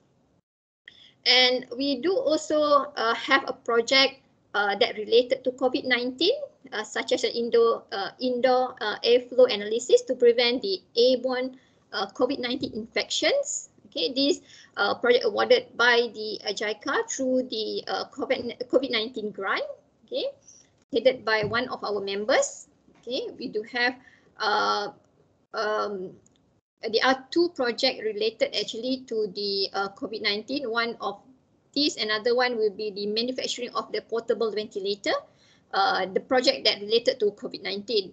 So uh, during the earlier pandemic last time, uh, our uh, members uh, are very active, help the frontliner in order to reduce the in order to help into the improvement of the ventilator system and uh, some of that uh, which is uh, some of the other uh, other projects such as the uh, more on the engineering uh, or fundamental project which is to see the improvement of heat transfer in the internal groove surfaces through the numerical and also experimental investigations. Now moving on into the what we have in the center. So I could share with you some of our facilities uh, that uh, we have in the laboratory. Uh, we have uh, basically four laboratory under the uh, center. The first one is the um, uh, surface laboratory, okay, supervised by Datin Dr. Bushra. So in this laboratory, we have uh, advanced uh, machines uh, such as the, the one that I uh, mentioned earlier, the PPVD, the physical uh, powder physical vapor deposition. When, and also we have the PVD machine. Uh, we have the micro scratch testing machine is here in this right here, the right, the most right here. And we have some optical microscope and also the hardness testing machines. Um, we also have the Advanced Materials Processing Lab uh, supervised by uh, Prof. Ramesh and also uh, Professor Dr. Tan Chou Yong. Uh, actually, in this lab, we have several machines such as the high temperature furnace. We have several furnaces, okay, and we have the uh, um, hydraulic uh, pressing machines, and we have also uh, the cold isostatic uh, pressing. And actually, we have another one, the microwave microwave uh, furnace. The, that one is the industrial level microwave furnace. Okay. Um, um, another uh, laboratory that we have is the industrial machining laboratory. So we have the uh, CNC machines here, and uh, at, at the back of the chair here, actually we have the gantry machines. Okay, this one is CNC milling machine. We have a gantry machine. We have uh, a few 3D printers. We have a conventional uh, milling machine uh, on uh, most right here. Okay. And lastly, uh, the precision engineering lab is under my laboratory. We have the laser welding here. We have 3D printer. We have some of the equipment that related to the um, uh, joining welding uh, welding process such as resistant uh, spot welding. We have ultrasonic soldering machines and etc. So if you, you are interested to know more, you can actually go to our, our website, okay? And also you can scan here, Okay, this is the QR code. You can, there is a brief a brochure here. You can scan. Okay, and also you can email us uh, anytime, and we will. Uh, we are very happy to uh, to answer uh, any question and also to start the collaborations. Okay, Prof. Uh, that's all from me. Thank you very much, Dr. Farazila, for very detailed sharing. Um, I think we now know a lot about what you know uh, your center is doing. So thank you for that. And I'd like to also now bring all the three speakers together so that we can commence with the Q and A. And so as uh, the three speakers come along, I want to just you know kind of see some of the things that I noted was among the three centers how important collaboration is and working with others, whether at the national level, international level, and even with other disciplines. Yeah, as and probably we can ask um, all of you more about that, but also um, about the transfer of knowledge, uh, whether in terms of product. Uh, development, yeah, or commercialization, but also in terms of capacity building, training of others, yeah, and sharing your knowledge with others. So it's not necessarily always product development. Um, and visibility seems uh, is well not seems is definitely very important so that others need to know who you are and know what you're doing. Otherwise, how will they come to you uh, for solutions or for assistance? Yeah and we saw that the the centers definitely the centers i feel um, are becoming well they, they are centers of reference yeah? And and that's why visibility is important but i guess also it's because of the good work that you're doing and that that is why research is very important. Uh not of course you publish of course you um you you have other academic outputs but you need to make sure that people outside industry, the community, self practice that you deal with know about the work that you're doing, eh? including inter- international uh, institutions as well. So, um, that, I mean, I do have some questions, but per- perhaps I'd like to open it if anyone would like to address your questions to any particular speakers or to all of them. Um, please, please feel free to put up your hands and um, unmute your mic to ask. So let me see if there's anyone who would like to ask any any questions. Everyone is still processing all the information, I suppose. Um, any any questions from anyone from the the virtual floor? Okay, while people are thinking of, uh, am I missing any? Uh, Yana, if you notice anyone, ah, okay, of course, Prof. Saiful has a question. Go ahead, Prof. Saiful. Uh, hi, uh, Steph. Uh, this is actually specifically for uh, Dr. Nofikri, actually. Uh, I mean, uh, I've been involved in uh, looking at your center for many, many times, and I've heard you present many, many times, Dr. Nofikri. And uh, unfortunately, until today, I, I still do not 100% understand the work that has been done. but just out of curiosity, um, as a layperson, if I were to ask what's in it for me, in other words, how would your discoveries in uh, particle physics affect my daily life? At least maybe not now, or maybe in the future. How, how would you respond to that? I mean, I, am really curious as to uh, what's right. happening. Oh, yeah. okay, okay. So there's two ways um, you can think of it. One is from pure knowledge, right? Out of curiosity driven of trying to understand um, how the world works, how the universe works. So that's my scholarly academic, pure intellectual menara guiding answer. Um, but what ha- from from research in experimental particle physics, um, the offshoot of the technological advancement usually, well, it's not usually historically we've seen it has brushed off to medicine, um, you know, proton therapies, and uh, also the advancement in computing are also pushing computer scientists to have better well, it's a bit uh, it's a bit of a stretch to say we're the reason why people are pushing, but you know now they don't they on their own. But these uh, uh, I'm trying to find a word for it. They're the seed of further technological advancement. I, I I'm I'm not I don't want to commit saying that this is what's going to happen because I truly believe don't believe that's what science is. Probably engineers do. Sorry, that's just as a pot shot, right? So, um, so you know, this we, we we learn from history that we have done things that are not for you know utilitarian gain but um, the the results from from our search for, for fundamental physics or trying to understand nature has resulted in things that make things better. Right? Uh, I can deliver a lecture on this, but uh, but that's just the thing. And I like to keep grounded that way, and people have to understand that, right? Because the moment we pursue something because for utilitarian gains, at least for particle physicists, then we just don't see, you know, the point of fundamental physics at all. I mean, I, I open, I, I, I, I do believe out there there are people who are just curious, right? And people have asked me not what they got in return, really, what what do you do, and ask what's the most fundamental questions, right? So it's a balance. Yes, I know we we we we've talked about this before uh, for Saiful, but I that's my answer essentially to people. Okay, cool. Thank you. Uh, yes, I just think, interesting. I just like to say the, the most people that I've talked to are pretty much children. I never talk what's in it for me.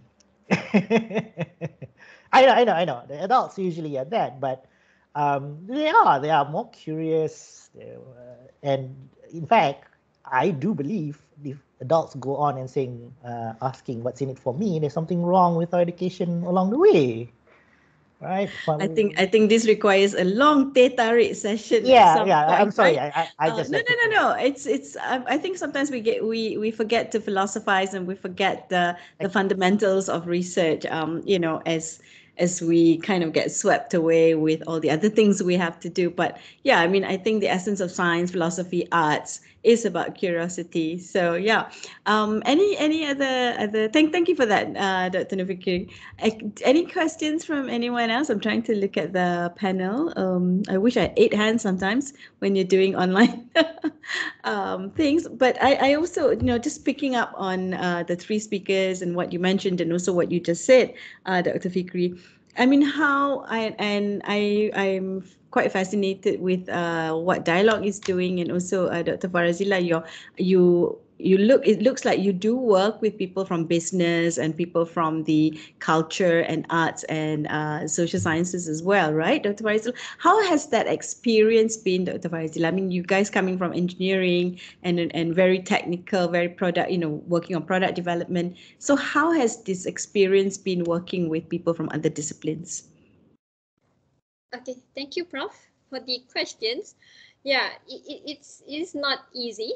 Okay, well, I can say that. Okay, because they have a different philosophy, especially from the business perspective. They have they have a different perspective with, with us, but then we try to reduce the gap between the business as also for the engineering uh, perspective. So usually what we did is we look into the similarities, the interests, okay, so that we can actually find the um, the match, what they need and what we need and then we mesh them and then then we uh, go further.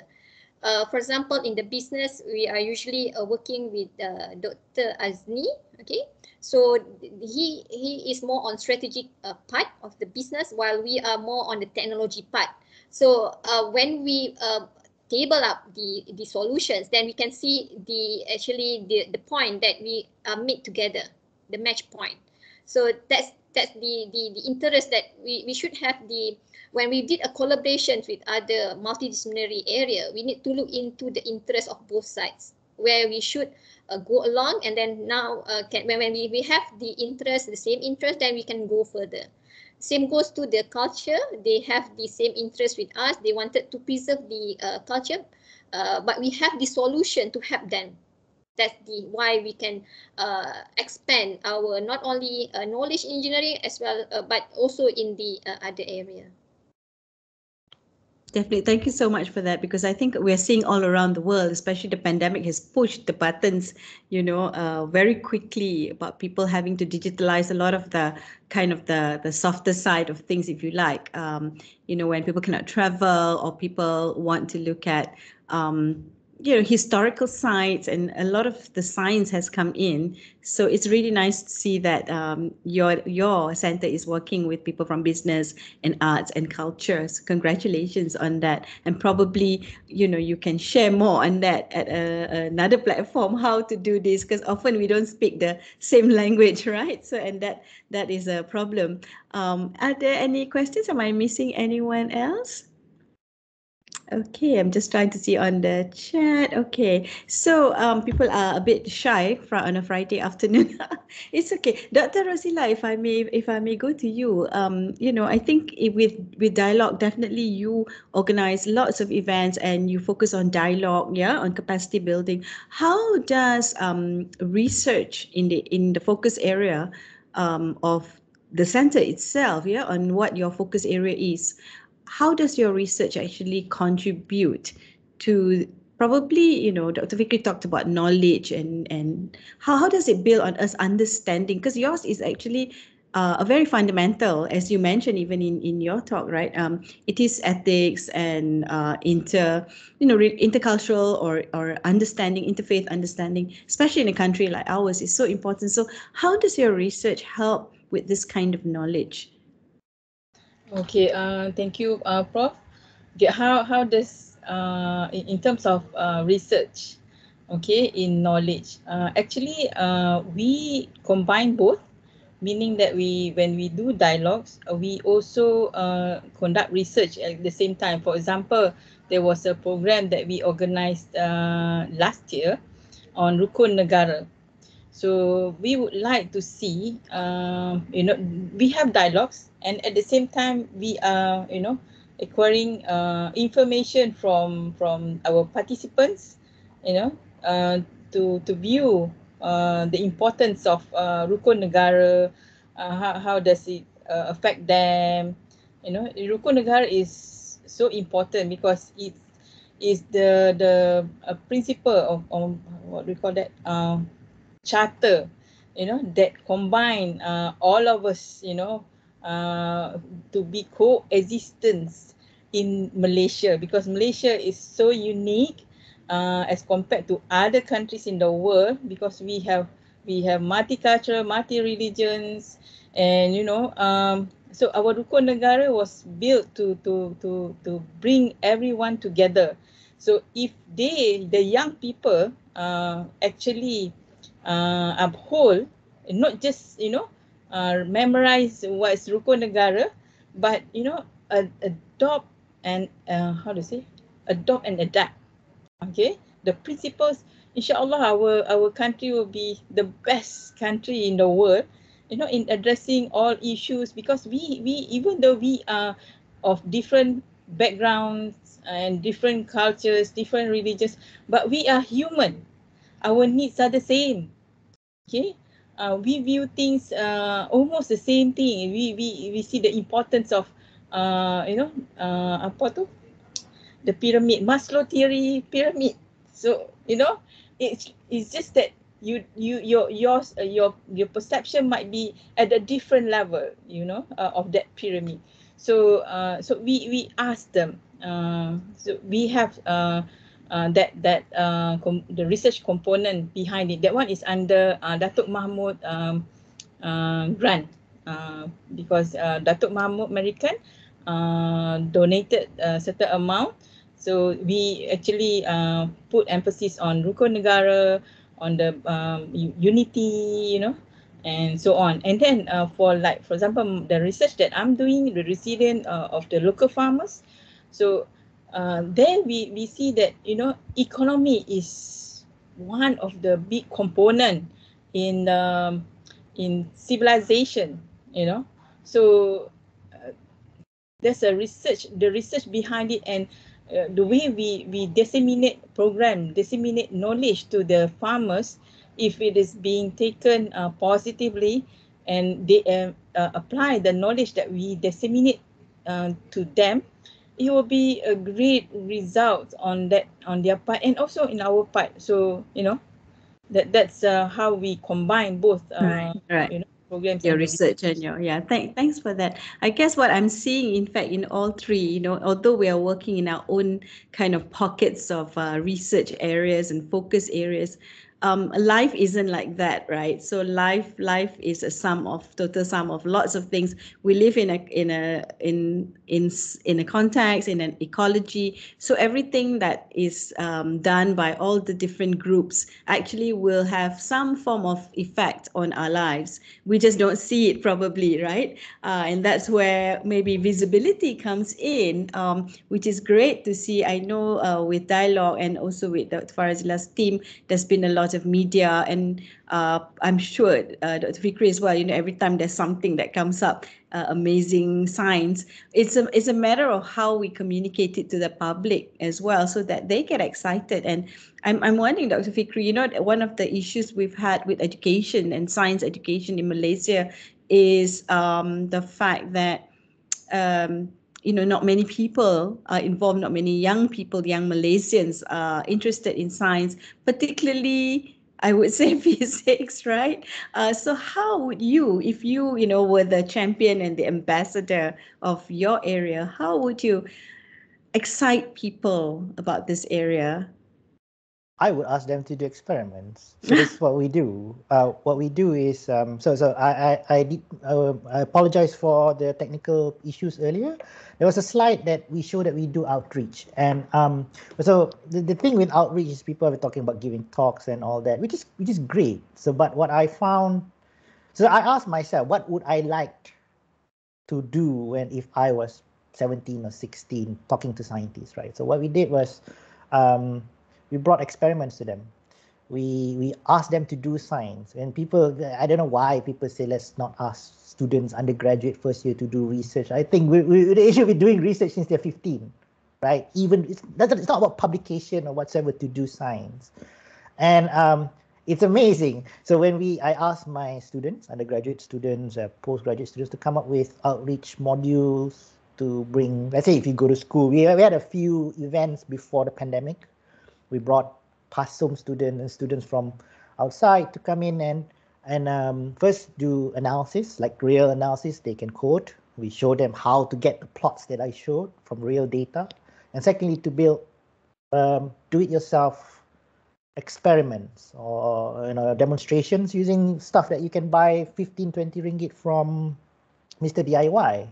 And I, if I try to do it myself right now, I don't know, but I have I'm still receiving emails from students that one or two years ago saying, you know, um, I remember the experiments and it's probably the best experiment is done compared to what they had even in school. I mean, I don't want to boast, but that kind of, you know, when they say those are the things that you know, they remember, and I think you know that's the the the the the, the, the sort of exposure that we should bring talks, yeah, people remember they like flashy stuff, but once they get to do science, and this should extend not just in particle physics, but for any sciences. That's what I think is. I, I absolutely agree with you. I think it's nothing like literally getting your hands and yeah, feet exactly. dirty. Uh, and that goes, I, am sure Dr. Farazila will also agree with that. Um, but also for, you know, social sciences, humanities, and arts, it's also about doing things uh, rather than sometimes just listening to talks, especially for young people, even for us actually, who doesn't get excited, right? Um, playing with some form of data, doing some social experiment. Yeah. So um, I think we are, let me just very quickly check. Um, Yana, could you just give me a heads up? We don't have any questions, right? We've got some comments uh, as well, which you can read. Can I ask the, the speakers to please, you know, if you want people to be able to, once they've processed the information and maybe watch the recording, they may have questions. So maybe we can share the emails, your emails in the chat box so people can email you. Uh, who knows? They, they, I think we also have guests from other universities here as well, so they may be very interested to to know more about your work. Yeah, um, and also, um, hang on, I've got a yes. Okay, thank you, thank you. So as we come to National Day next week, yeah, um, I just like to ask each of you, you know, your few few words, your thoughts about your research area, and and also your own personal views about um, what wishes you have for the nation and for our for participants, listeners here today. So, Dr. Farazila, can I start with you? Sure. Uh, thank you, Prof. Uh, yeah, as our, our previous talk uh, mentioned about Merdeka uh, dalam pandemic, yeah, please differentiate between the government and um, and the negara, government and the country. So okay, so when we merdeka, uh, cakap Melayu, Prof. It's okay, boleh je kita bilingual. But uh, because the the punya strength dia lain. Uh, merdeka dalam pandemik maknanya kita sangat bangga dengan uh, Malaysia. Okay, bangga kemerdekaan Malaysia. So, you know, you should be proud of being a Malaysian. You know, I was not born in Malaysia, but okay, I'm a Malaysian. Okay, I am a Malaysian. So even my son said, Mama, uh, uh, uh, uh, we can live better in other countries. No, no, no. I want to die. I, I want to live and, you know, uh, until I, I die, I want to be in Malaysia, in my country my country. I'm so proud to be a Malaysian. This, despite whatever is happening in our political arena, that, that one is another story. So please don't, don't, yes. uh, you know, we, we, we can't because we are not politicians. We are the, we, we are Malaysian. No, be proud of so, being. So be proud of Malaysia. That's your yes. message to to everyone. Thank you, Dr. Yes. Farazila. Thank you, Prof. Yeah. Okay, thank you, Prof. Okay, uh, yes, well, um, I have a special moment actually for the National Day because I, I, I give deliver to my first child on 31st August. okay, so um, yeah, it's like, yeah, I wish I wish that uh, our our nation will be more stronger after this because we know that we are facing a lot of challenges. Okay, so hopefully we don't fall. Uh, down. We need to um, uplift our head up in order to uh, to challenge the whatever the challenges that we are facing. Yeah, that's I that is my wish for the for the National Day this year. yes, resilience, right, in the face of all that we are facing, and uh, your center has also contributed very much to the situation with the frontliners. So congratulations on that. And Dr. Fikri. Hi, so so I, I have two things. I just want to reply for one of the comments first uh, from you. So, uh, Mr. Fazil, thank you for having, you know, you enjoying Berita Berkala NCPP, uh, Prof. Wan. He would be very happy to hear this because then there's this one direct, uh, there's one response. I've always said to him, why, why would you want to do it? I said, if you want to do it, then do it. He'll be very happy and he will definitely will say, ha ha, I told you so. Um, um, maybe when things are better, I would propose that we would have some talks once in a while to explain the things that happens in particle physics. It's something that I think I wanted to do even before the pandemic, but things are just not happening. I, I prefer to talk in, in real life. Okay, that's one. Secondly, um, thank you again. I will, I will deliver the message to Prof. Uh, secondly, well, Merdeka has always been a special day for me, 31st August. It's my birthday. So if uh, Dr. Farazila, anak dia, uh, ni then 31st August I will always have a parade for my birthday. So that's always a joke I do. Um, so to, to tie with, with with the idea of independence at least for as an as, as an academic uh, as centers right? Um, my the way I see it is that um, every year we're catching up and the idea that we want to be leaders in our field um, regardless field academia whatsoever like in, let's say i'm just going to take it for my field uh, particle physics so so we always have this not attitude, is the feeling that we're we're catching up. Now, what I would like, at least for particle physicists in Malaysia to do, we don't catch up anymore. We are standing shoulder to shoulder, and we lead. Enough, um, you know, learning from others. We lead them. We lead the world. That's what I, I would like to see, and I think we are seeing it slowly but surely. Yes, I think it's time for us not to piggyback on others, but to feel that we can also lead the way. And I think that the centers today, what we've heard, uh, definitely we can see that. So, you know, thank you very much to the three of you. And before we end, I have been asked to um, to ask everyone to. I don't know, Yana, do you want everyone to turn on the camera? Tak boleh kot, just the speakers. Speakers and uh, Prof. Saiful, probably. Prof. Saiful, Prof. Saiful. Can you turn on your camera, Prof. Saiful, for a sesi bergambar? That's the only set. All our pictures now are like this, you know, in tiles. And to the participants, thank you so much for joining us. Please don't forget to give us feedback so that we can improve. Uh, and once again, please join me, uh, if some of you might need to leave now, to please give a round of applause to our three speakers. Yay! For sharing, yeah? Thank you so much. Okay, Prof. Abu Bakar. Okay, so kita bergambar. See, we have guests from from UKM ni, from Research Management Office UKM. So kita bergambar. Alright. Uh, Yana, you want to tell us when to to look Yes. into? Okay. Ready? One, two, three.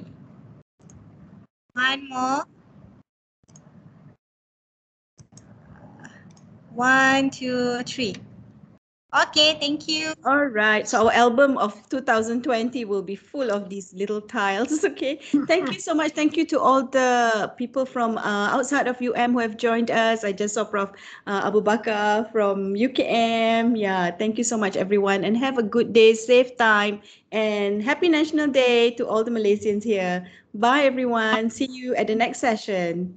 Bye. Thank you. Thank you very much. Thank you. Bye everyone. everyone. Assalamualaikum. Bye. Assalamualaikum.